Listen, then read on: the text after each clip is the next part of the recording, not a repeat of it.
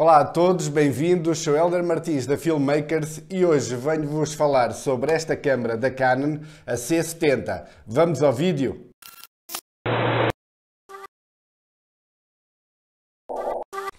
Eu recebi esta câmera e já fiquei encantado com ela. Sem dúvida, pelo preço que ela tem e pela qualidade, eh, é sem dúvida uma das grandes câmaras do ano.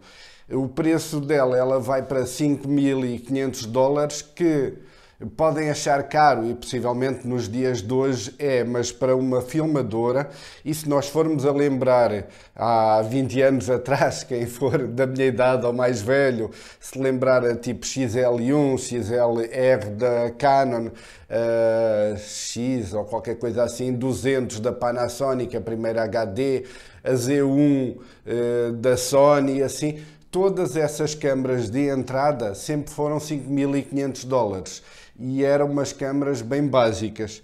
E esta aqui, digo sinceramente, o que ela tem, as características que ela tem, é sem dúvida uma câmara que dá para ficar tipo uns 10 anos ou assim. Só quando o 8K for padrão é que acho que vale a pena mudar.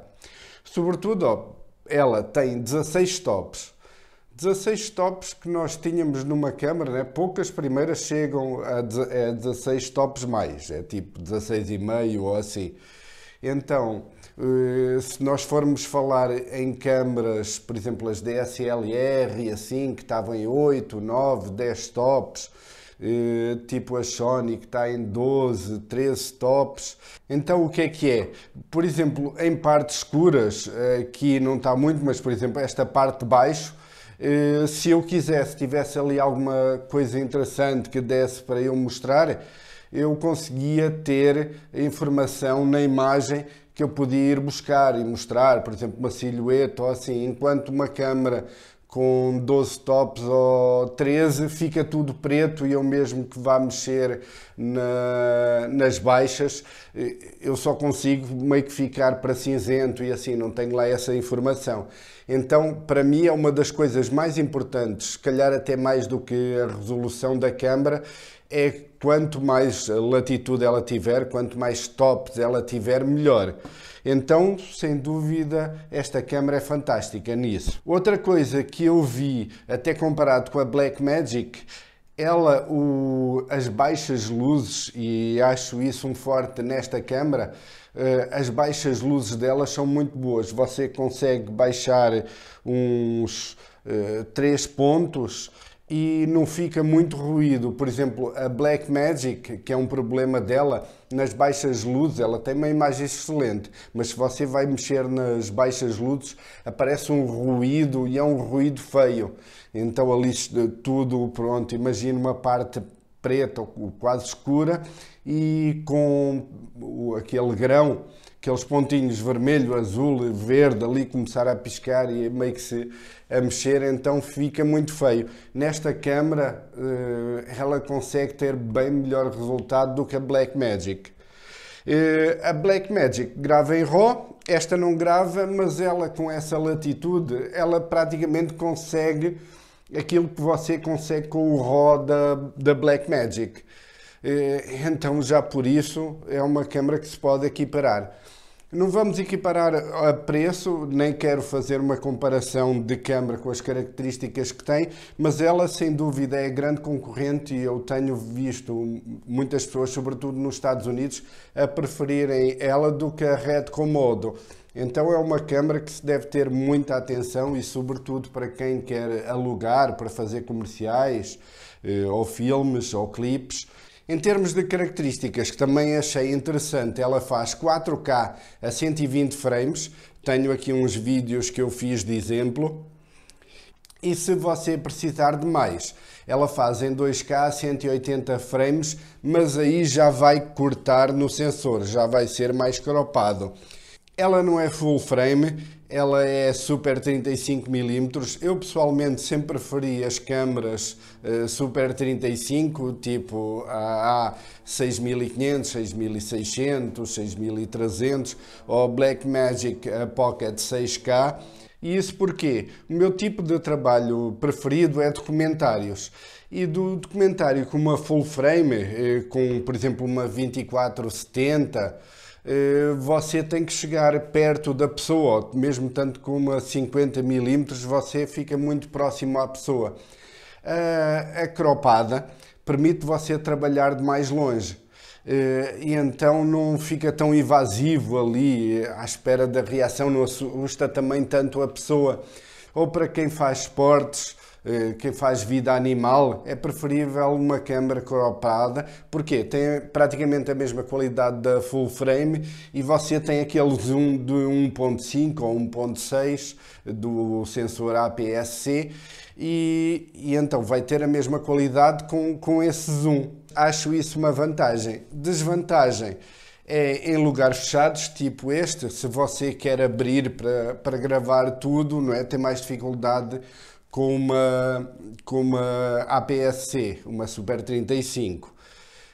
a Canon também lançou um tipo um Meta Bonds eh, para as lentes, eu penso que é para as lentes EF, eu não trabalhei com ele, em que ele faz uh, um crop de 0,71, ou seja, você vai ganhar um stop na lente, uh, vai ficar com a imagem mais clara e vai ficar praticamente com uma imagem de full frame. É talvez aí 1.2 ou assim que você vai ter de crop contra 1.5, 1.6 do APS-C. Esta câmara também faz conta que tem aqui um gravador de áudio interno. Ela tem aqui, ó, aqui dois uh, XLR Mini, como é utilizado nas novas Pockets da Blackmagic. Tem também aqui entrada de microfone e ela pode fazer os canais uh, 1 e 2 e depois o 3 e 4 colocar outro canal. Ou você, em vez de utilizar os quatro separados, com equipamentos diferentes, pode colocar um espalhado com o 3 e o 2 espalhado com o 4. Para quê? Uh, para colocar um volume no 1 eh, menos 20 dB do que está no 1 no 3, a mesma coisa no 2 e no 4. Eh, e aí para quê? Para caso estourar, não é? Ter um áudio de reserva onde você pode ajustar sem ter esse problema de áudio. Bem, mas isto foi algumas coisas que eu falei bem e muito bem que eu acho extraordinário na câmara. As coisas que eu gostei menos é o sistema de autofoco. Eh, pronto, não se pode comparar com as DSLR que tem da, da Canon, que desde a 70D eu acho a coisa mais magnífica. Esta aqui eh, ainda tem assim o autofocus é, é, bom, não é? É um autofocus pode-se usar, como eu fiz aqui nos vídeos, eh, mas ele tem certas limitações. Até o face detection, ele também tem que estar a, a cara muito próxima para ele ativar o face detection. De qualquer forma, eles ainda agora no fim do, deste mês de junho vai sair uma atualização de firmware que eles estão a fazer eh, algumas melhoras, desde ser compatível eh, com mais lentes para, para fazer todo o sistema de, de autofocos e de estabilizador de imagem, para juntar o estabilizador da lente com o sistema eletrónico dela também um dos problemas que eu tive, porque ainda não tenho essa atualização de firmware, era eh, pronto ficar nos cantos, sair um pouco do meio, ele já perdia o foco. Então eles vão aumentar para cerca de 80% da, da área da tela onde ele vai atuar para fazer esse autofoco. Também ele vai fazer um sistema do tracking para quando você clicar eh, numa cara de uma pessoa, ela automaticamente altera para Face Detection.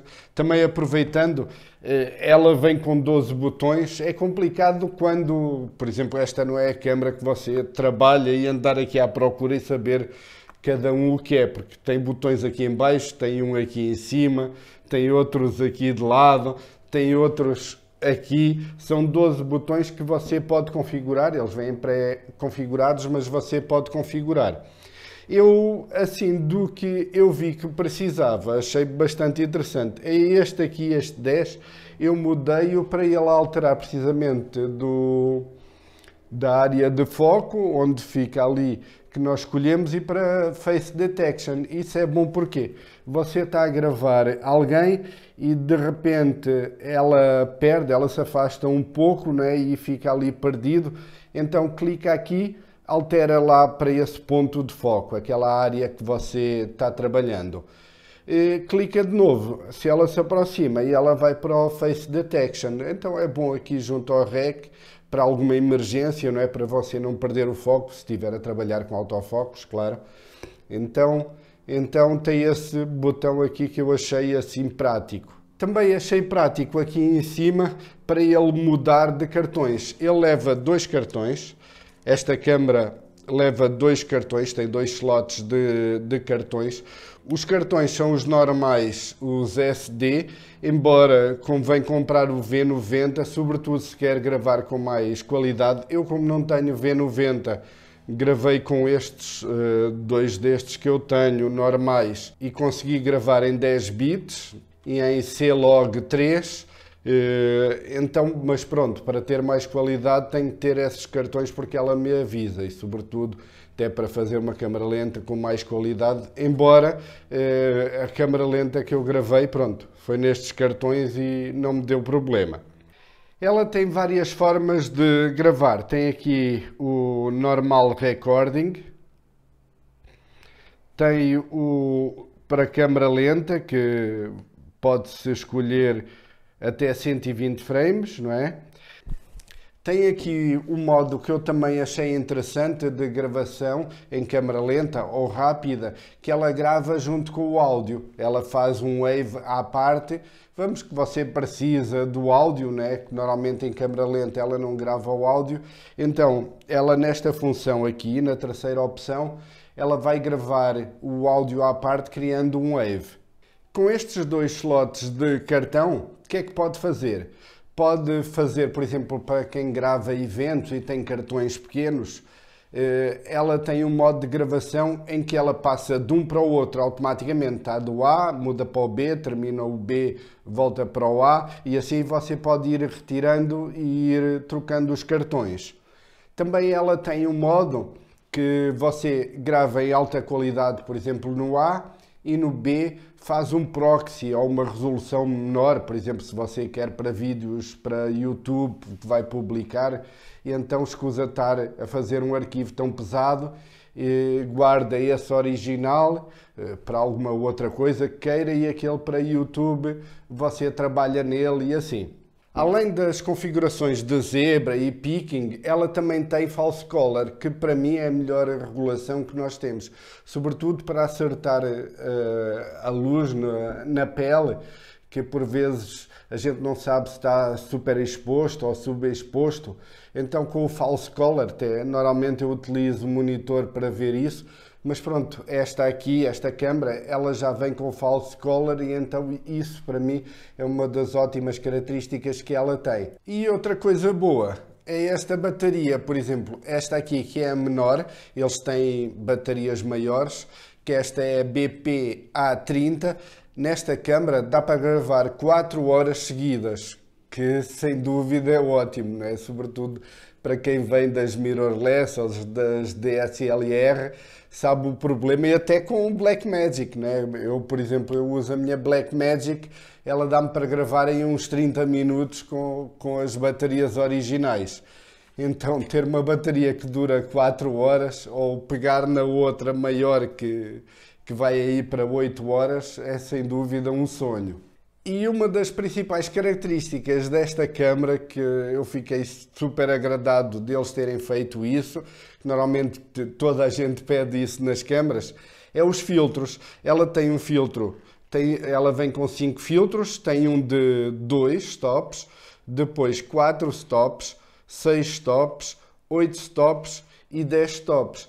Isso é excelente que nós aqui, só clicando aqui, nós conseguimos ajustar a imagem à luz que, que está, sem estar aqui a colocar muita abertura, sem estar a perder a imagem com desfoque e assim.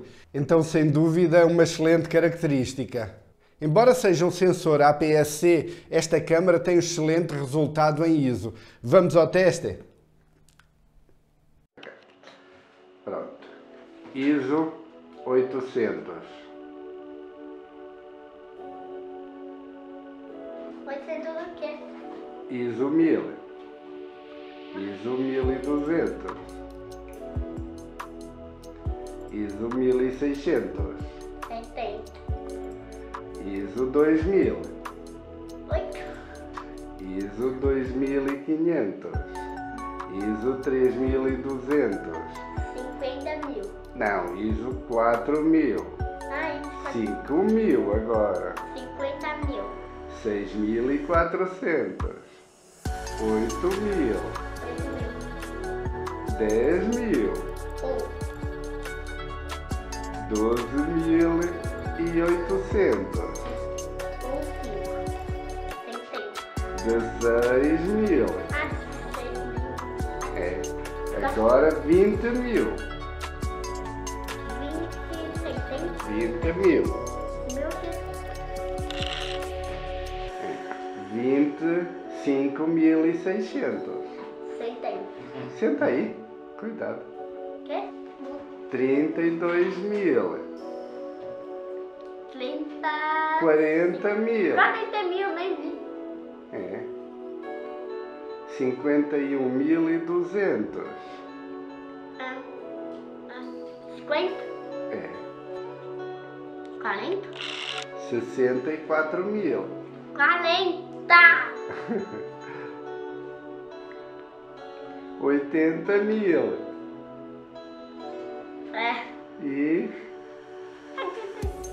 102 mil. Cento e dez mil. Isso. Uhum.